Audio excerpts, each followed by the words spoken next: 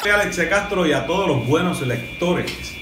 Quiero decirles que estoy en el sol de Puerto Rico, el periódico que te informa.